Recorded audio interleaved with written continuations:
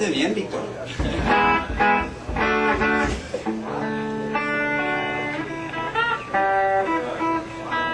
Okay, I want to thank you guys for coming out and sticking around. Just doing a bunch of new songs, and uh, and like that. All right. What are you doing? Uh,